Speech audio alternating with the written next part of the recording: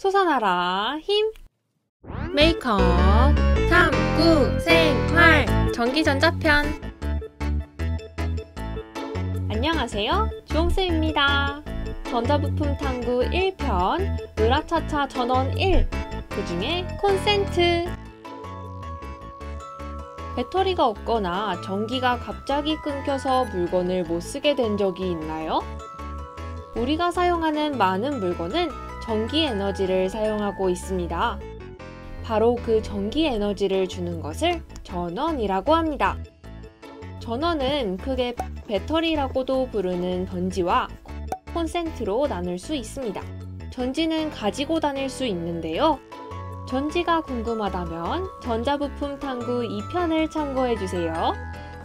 콘센트는 가지고 다닐 수 없습니다. 콘센트를 찾으러 헤매던 경험이 있지 않나요? 이번 영상에서는 콘센트에 대해 알아보겠습니다. 콘센트는 이런 구멍이고 플러그는 이렇게 끼우는 것입니다. 콘센트를 사용하려면 콘센트와 플러그의 모양이 같아야 합니다. 또 규격이 같아야 전자제품이 망가지지 않습니다.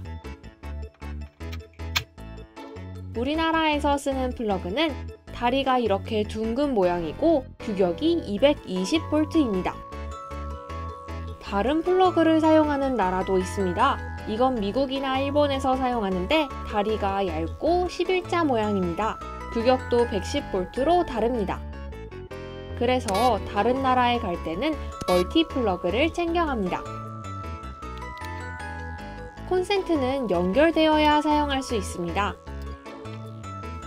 그래서 연결된 전선의 길이와 콘센트의 개수가 중요하죠. 더 많은 물건을 사용하기 위해 콘센트가 여러 개 있는 멀티탭을 사용합니다. 연결되어 있기만 하다면 24시간 계속 사용할 수 있습니다. 그리고 힘이 셉니다. 우리가 사용하는 220V는 건전지 이만큼도 부족해요. 그래서 세탁기도 움직일 수 있답니다. 이렇게 강력한 만큼 조심해서 사용해야겠죠?